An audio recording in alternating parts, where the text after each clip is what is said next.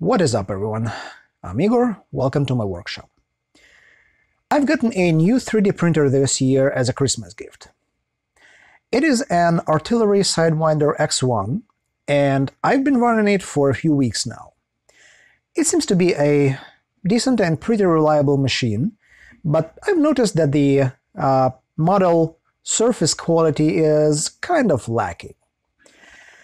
I'm pretty sure this printer can do better, the build quality itself is pretty good, so um, this is going to be the first video in a small series where I will try different ways to tune this machine and hopefully improve the print quality. So, with that out of the way, let's get started, shall we?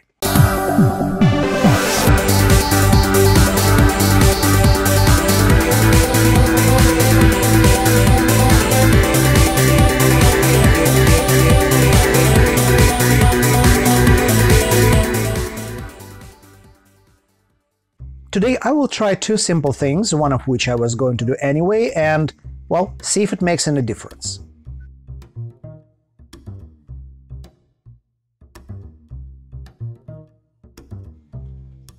Here is a control model. This is Ben, a Benchie's cousin.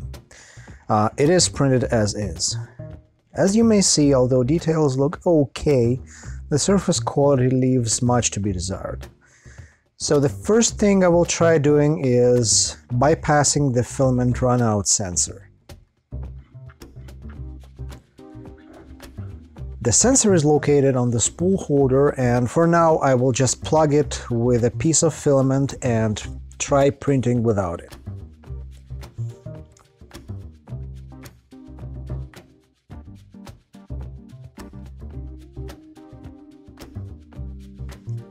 While it's printing, let me show you something. I'm currently printing from a thumb drive and using Octoprint only to monitor the printer. I've noticed that when changing temperature, the printer significantly overshoots and undershoots, as you may see here. I tried doing PID calibration, but many times it was overshooting so badly that the calibration procedure just failed with an error something like PID calibration failed temperature is too high. Also, the EEPROM in this printer is locked by default, so I couldn't save the PID values. I plan to update the firmware and unlock EEPROM, and I'll probably make another video on that topic. Anyway, let's take a look at the result. Well, unfortunately the result is not that much different. It is slightly better, slightly less layer discrepancy, but still not good yet. Okay, next let's try to tighten up the belts.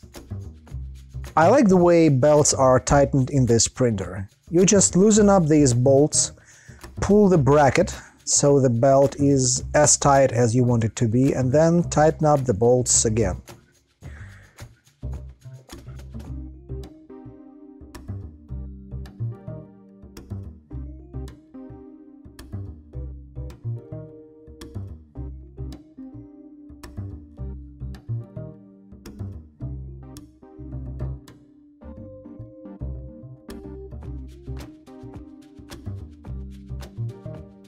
The procedure is the same for the X-axis belt.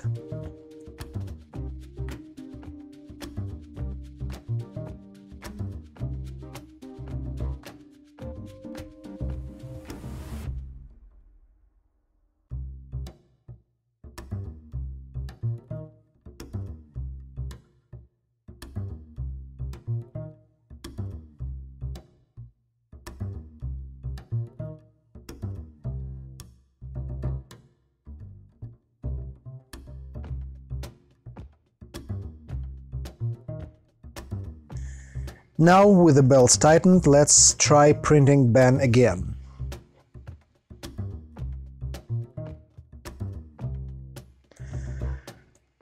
Alright, to me there is some improvement. There is definitely less ringing and ghosting and the layers are more consistent, but the discrepancy is still there.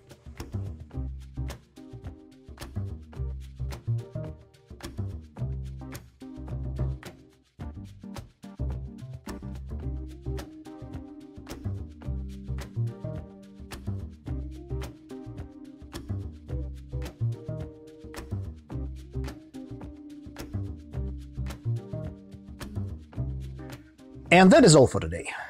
I hope you've learned something from this video. Uh, so for me, uh, I can definitely see some quality improvement, but still, this is not what I want yet. Um, the belt tightening procedure is something that I was going to do anyway, and I mean, this is one of the basic um, tune-up procedures for any 3D printer, so I mean, at least that's done. And the next time I will try doing a few more things, uh, meaning I will um, try calibrating all the stepper motors. Um, I heard some, well, rumors um, the default values are not correct. And I will also try replacing the stock spool holder with, I don't know, something else. I will come up with something. Also, in the meantime, I will update the firmware, unlock the EEPROM, and try doing a proper PID calibration. So I hope you like this video, and if so, please click that like button, feel free to share it, consider subscribing to my channel, and of course, your comments are always welcome. Thanks for watching, happy tinkering, and don't forget to have fun. Bye!